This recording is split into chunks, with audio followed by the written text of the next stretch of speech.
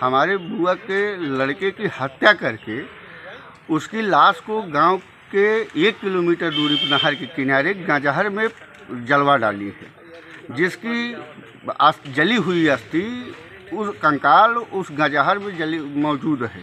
एक लाठी बरामद हुई है, जिस पर खून लगा हुआ है और एक बोरी बरामद हुई है, जो घर में ही मिली है, जहाँ उस बोरी पर भी खून लगा हुआ है। और अभी वहाँ गंजहर में मौजूद है।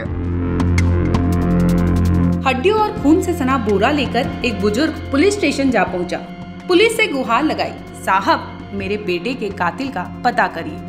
जिस बेटे की तलाश में पिता दर दर भटकता रहा, उसकी हड्डियों से ही उसे संतोष करना पड़ा। वो तो इस तलाश में था कि बेटा कहीं गया होगा, आ जाएगा, लेकिन उसे नहीं पता था कि उसका बेटा फिर कभी नहीं लौटेगा।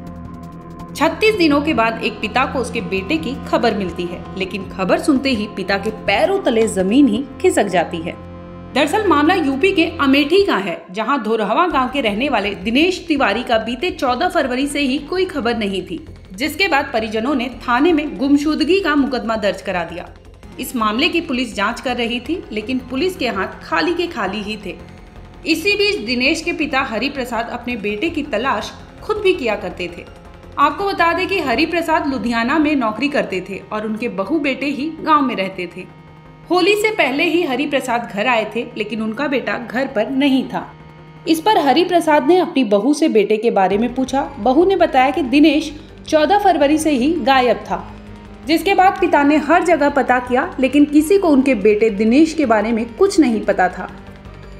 इसी बीच हरि प्रसाद अपनी बहू के हाव भाव में बहुत से बदलाव नोटिस करने लगा। तभी मौका देखते ही हरि प्रसाद ने बहू से अपने बेटे के बारे में सख्ती से पूछताछ की।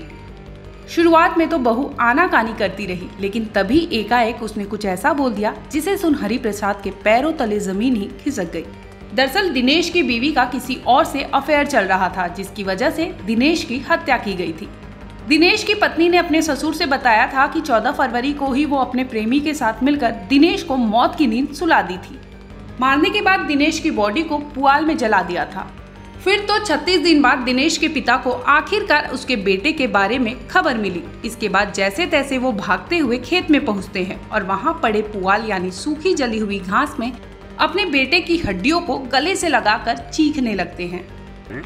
हमारे बुआ के लड़के की हत्या करके उसकी लाश को गाँव के एक किलोमीटर दूरी पर नहर के किनारे गांजहर में जलवा डाली है, जिसकी जली हुई अस्थि उस कंकाल उस गंजहर में जली, मौजूद है। एक लाठी बरामद हुई है, जिस पर खून लगा हुआ है और एक बोरी बरामद हुई है, जो घर में ही मिली है, जहाँ उस बोरी पर भी खून लगा हुआ है।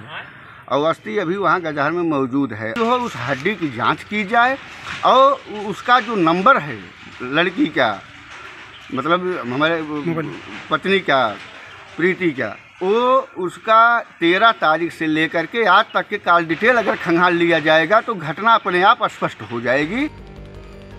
आपको बता दें कि पुआल में मिली हड्डियों को पुलिस ने जाँच के लिए भेज दिया है और इसके साथ ही पुलिस इस मामले में तहकीकात कर रही है।